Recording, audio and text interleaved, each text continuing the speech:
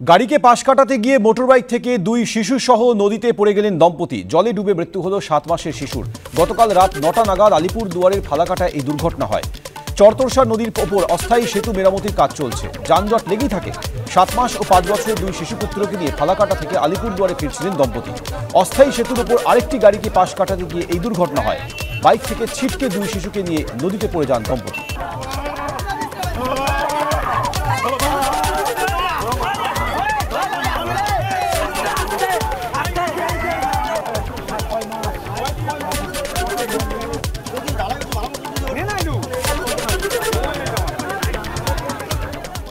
ঘটনার দিন রাতে ঠিক কি ঘটেছিল? সেই বিষয় নিয়ে বারবার প্রশ্ন তৈরি হচ্ছে এবং একের পর এক চাঞ্চল্যকর তথ্য সেই জায়গায় উঠে আসছে। পুলিশের হাতে আর এক প্রতিনিধি পার্থ প্রতিম ঘোষ। সরাসরি রয়েছেন পার্থ প্রতিমের সঙ্গে কথা বলব, যেটা এখনও পর্যন্ত জানা যাচ্ছে রাত দশটা পাঁচে ডিন অফ স্টুডেন্টসকে একজন ফোন করেছিল।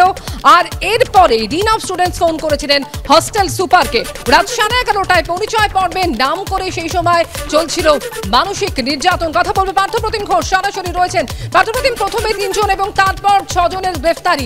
এখনও পর্যন্ত যেটা জানা যাচ্ছে, তাদেরকে জিজ্ঞাসাবাদ করে একেবারে হাড়হিম করা, অত্যাচারের একেবারে হারহিম করা তথ্য উঠে আসছে পুলিশের হাতে। কি সেই হারহিম করা তথ্য? এবং রাত দশটা পাঁচে যেখানে ডিন অফ স্টুডেন্টসকে ফোন করা হয়, একই সময় চলছিল র্যাগিং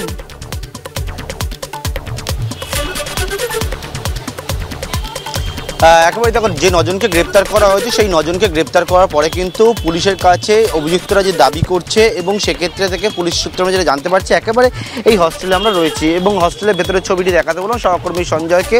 এবং এই যে জায়গা, যেখানে কিন্তু এ ওয়ান এবং এ টু ব্লকের যে জায়গা রয়েছে এ ওয়ান ব্লক, সেখানে কিন্তু একেবারে গোটা ঘটনার সূত্রপাত হয়। যেমনটা জানা যাচ্ছে, একেবারে ন তারিখ রাত্রেবেলা ঠিক কী ঘটেছিল যেটাই জানতে চাইছেন তদন্তকারীরা, যার ওপরে কিন্তু একেবারে পারিপার্শ্বিক তথ্য প্রমাণের ওপরে কিন্তু গোটা ঘটনা তদন্ত প্রক্রিয়াকে এগিয়ে নিয়ে যাওয়া হচ্ছে। যেমনটা জানা যাচ্ছে, রাত্রি দশটার পরে কিন্তু একেবারে এই প্রথম বর্ষের পড়ুয়ার ওপর অমানবিক যে অত্যাচার, সেটা কিন্তু শুরু হয়।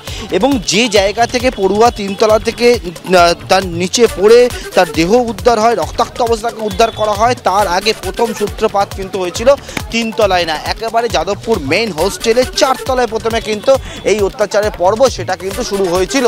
চারতলার একশো চার নম্বর যে ঘর রয়েছে, সেই ঘরের মধ্যে প্রথমে তার উপস্থিতিতে পড়ুয়ার উপস্থিতি তাকে দিয়ে জোর করে একটা চিঠি লেখানো হয়। এবং যে চিঠি ইতিমধ্যে ভাইরাল হয়েছে, যে চিঠির ডেট দেখতে পাবে তুমি দশই অগস্ট। কিন্তু তার পাশাপাশি কিন্তু একেবারে চিঠিটা লেখা হচ্ছিল কবে? অর্থাৎ ন তারিখে চিঠিটা লেখা হয়। কারণ কি? কারণ হচ্ছে উদ্দেশ্য হচ্ছে একটাই, যাতে অন্য পড়ুয়াদের, যারা অন্য গ্রুপে তাদেরকে ফাঁসিয়ে দেওয়া যায়, সেটাই ছিল মূল উদ্দেশ্য বলে জানা যাচ্ছে। এবারে এই চিঠি যখন লেখা হলো, সেই চিঠি লেখার পরে কিন্তু শুরু হয় একেবারে অমানবিক অত্যাচার। কি হয়? একেবারে চারতলা থেকে প্রথমে এই পড়ুয়াকে তিনতলায় নিয়ে আসা হয়। তিনতলায় নিয়ে এসে তিনতলা করিডোর এবং বিভিন্ন যে ঘরগুলো রয়েছে, সেই ঘরে চলে পরিচয় পর্ব। এবং এই পরিচয় পর্ব কিন্তু চলে একেবারে প্রথম পড়ুয়া বর্ষের পড়ুয়াকে বিভৎস করা অবস্থাতে এবং তার পরবর্তীকালে দশটা পঁয়তাল্লিশ নাগাদ পড়ুয়া রক্তাক্ত অবস্থায় তাকে নিচ থেকে উদ্ধার করা হয়। অর্থাৎ এক্ষেত্রে কিন্তু যাদেরকে গ্রেপ্তার করা হয়েছে, প্রত্যেকেরই কিন্তু এই অপরাধের সঙ্গে তাদের একেবারে প্রত্যক্ষভাবে তাদের যোগাযোগ ছিল, তেমনটাই পুলিশের তরফ থেকে দাবি করা হচ্ছে, প্রত্যেকে সেখানে প্রেজেন্ট ছিল, দাবি করা হচ্ছে। অর্থাৎ এই যে গোটা ঘটনাটা শুধু ন তারিখে ঘটলো, তেমনটা না এখন তার আগের দিন, আট তারিখেও কিন্তু পড়ুয়াকে র্যাগিংয়ের শিকার হতে হয়েছিল বলে পুলিশের সূত্রে কিন্তু দাবি করা হচ্ছে। আগেবারেই ধন্যবাদ, পার্থপ্রতিম তোমাকে।